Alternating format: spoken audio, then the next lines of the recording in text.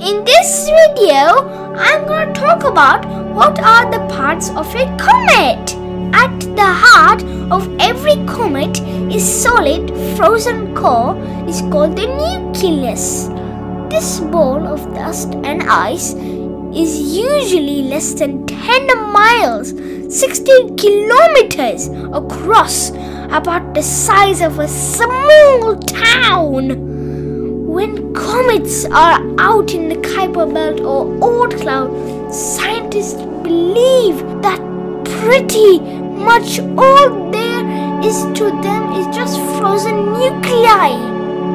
But when a comet gets close to the sun, it starts heating up. Eventually, the ice begins to turn into gas.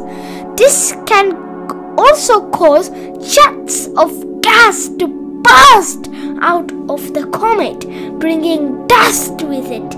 The gas and dust create a huge fuzzy cloud around the nucleus called the coma.